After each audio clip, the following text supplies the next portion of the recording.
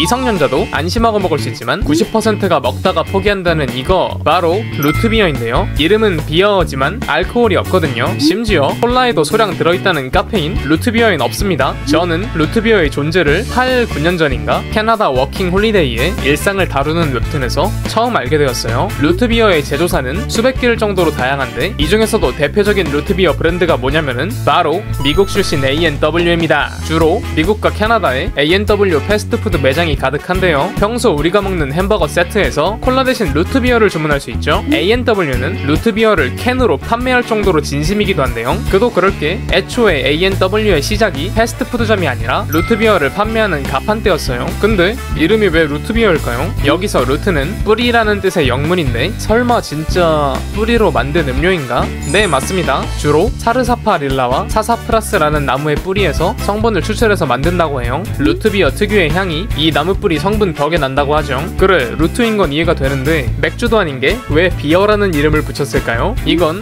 미국의 금주법이 있던 시대를 보면 알 수 있는데요. 원래 하지 말라면 더 하고 싶고 누르지 말라면 괜히 누르고 싶잖아요. 에이 암만 술이 먹고 싶어도 금주법은 지켜야 되니까 술 먹는 기분이라도 내고 싶은 사람들을 겨냥해서 beer라고 이름을 지어서 판매한 거다 라는 이야기가 있습니다. 원래 이름은 root tea였다고 해요. 근데 요놈 호불호가 상당히 갈린다고 하더라고요. 이미 널리 알려진 민트 초코, 하와이안 피자, 평양 냉면은 잽도 안 될 것 같은 게 맛 표현을 들어보시면 고개를 끄덕이실 겁니다. 자, 그래서 이게 무슨 맛이냐? 일단 캔을 딱 따면 코를 자극한다는 파스 냄새. 어떤 사람은 병원 복도가 떠오른다고 합니다. 이게 음료가 맞나 의구심을 가지고 한 입 먹어보면 콜라에 치약 섞은 맛, 시럽을 때려 넣은 가스 활명수 등등 다채로운 표현의 후기가 있었는데 공통적으로 물파스 맛이라고 표현을 하더라고요. 이제 거기에 설탕이 가득 들어가서 달달한 물파스가 된 느낌이랄까요? 자, 말만 들었을 때는 참 난해하고 이걸 왜 먹나 싶기도 하죠. 근데 이걸 좋아하는 사람들은 진짜 좋아한다고 합니다. 공통적으로 하는 말이 중독성이 장난 아니라고 하죠. 처음엔 별로라고 해도 언제부턴가 자꾸 찾게 되고 정신 차려보니까 손에 쥐고 있다는 거죠. 팝콘에는 콜라, 치킨에는 맥주인 것처럼 역시 마실 거는 음식과의 궁합도 중요하죠. 루트비어도 당당하게 한 궁합하는 데요. 바로 햄버거. 루트비어 특유의 시원한 향이 햄버거로 잔뜩 느끼해지고 기름져진 입안을 양치라도 한듯 개운하게 리프레쉬해준다는 거죠. 여기에 설탕 43g,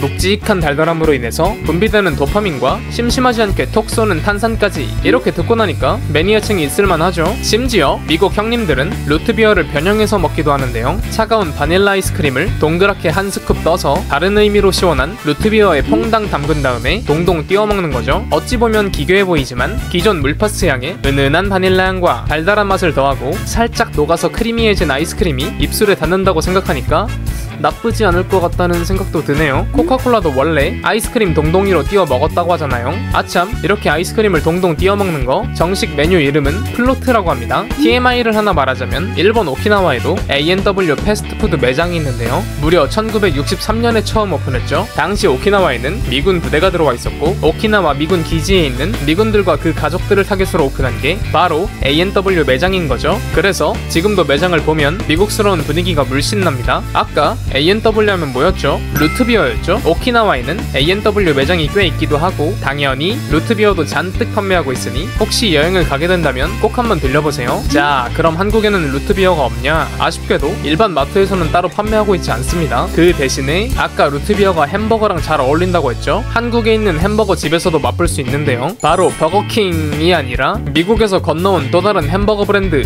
쉐이크쉑에서 맛볼 수 있다고 합니다. 근데 쉐이크쉑에서 판매하는 root beer는 A&W 제품이 아니라 아비타 제품이니까 참고하세요. 이 두 개가 뭔 차이가 있나 찾아봤더니 아비타 제품은 루이지애나주에 순수한 사탕수수로 만든 설탕을 넣었다고 하네요. 옥수수 설탕이나 과당이 없는 순수한 청량 음료임을 강조하고 있죠. 얘기가 잠깐 샜는데 세계화 시대인 만큼 굳이 발로 움직이지 않아도 온라인에서 쉽게 구매가 가능한데요. 나 대신에 열심히 바다 건너오는 물건 특성상 최소 한 팩부터 주문이 가능해요. 그래도 다른 영상에서 소개했던 음료들보다는 가격이 착한 편입니다.